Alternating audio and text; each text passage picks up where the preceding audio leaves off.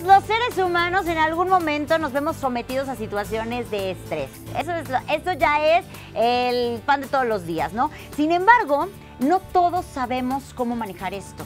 O sea, de repente acumulamos muchísima tensión, ¿no? Y esto puede afectarnos gravemente. Esa es la realidad y ya lo hemos dicho incluso físicamente, te puedes enfermar. Esa es la realidad. O sea, es una de las principales enfermedades hoy en día, el estrés y el mal manejo del estrés. Para platicar de esto está con nosotros Rodrigo Chío. ¿Cómo estás, Rodrigo? Con mucho gusto de, estar aquí y de compartir una vez más. Ah, yo también. ¿Cómo le hacemos para, para manejar el estrés? Ya no quiero decir mm. controlar, para manejarlo. Para manejarlo, canalizarlo. Para canalizarlo. Canalizarlo. Primero estemos claros que el estrés no es malo. Solamente el exceso de estrés puede ser malo. Claro, cuando le subes mucho el volumen. Exactamente. Como tal es una tensión. Entonces, si nosotros imaginamos una cuerda, como mejor funciona es tensionada. Igual nosotros, eh, seres humanos. Claro, si nos tensionamos de más, va a reventar. Y, todo el tiempo. Y todo el tiempo va a reventar. Pero si no tuviéramos esa carga emocional de estrés, pues tampoco tendríamos un rendimiento óptimo, como la cuerda. Sí, sí, lo, hemos comentado en alguna ocasión. El estrés te puede dar el, impulso para que tú te muevas y hagas algo. De hecho, hay gente que yo no sé qué tan saludable o no sea esto, pero hay mucha gente, y debo confesar que me incluyo, que a veces decimos, trabajo mejor bajo estrés. Yo también. Yo Oye, así de, ¡ah! Diciendo que no. Confesiones, como siempre. Pero es la realidad, ¿no? Totalmente. Pero, mientras no sea todo el tiempo y en exceso. A mí me encanta eh, el, tema de trabajar bajo presión. En lo personal me es útil porque te lleva al límite, te lleva a dar el máximo. Sientes más adrenalina, sientes, ¿no? Exactamente, el estrés libera adrenalina y esa adrenalina nos genera pues pasión, entusiasmo, obvio, canalizándolo de forma correcta. Entonces, muy importante, eh, les digo a mis coaches, eh, tres R's. Tres R's como, como base. Número uno. Suéltalas. Suéltalas. Número uno, responsabilidad. O sea, hazte cargo de tomar control y estar consciente que nosotros generamos la emoción. El estrés, la tensión, la felicidad, la motivación. Número uno es la responsabilidad que nosotros tenemos de eh, responder a las situaciones. Como tal, todos tenemos situaciones estresantes. Hoy en día puede ser el tráfico, puede ser el trabajo, puede ser, etcétera, etcétera.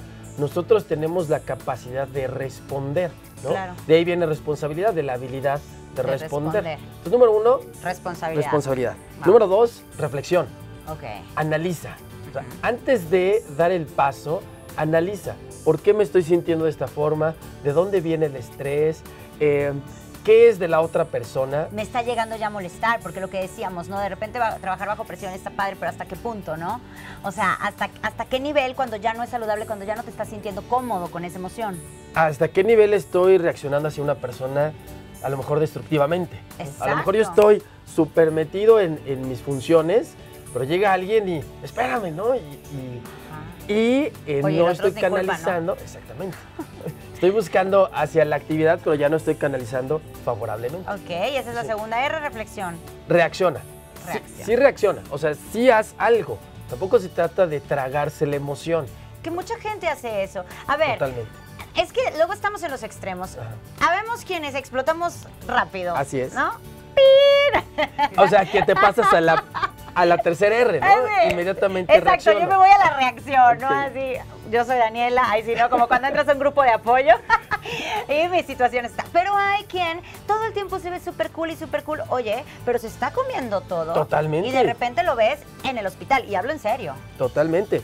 De hecho, es mucho más dañino en un sentido físico, ¿no? en tema de enfermedades, estarme tragando la emoción y decir, bueno, hay tráfico, pero no me voy a estresar y te lo guardas.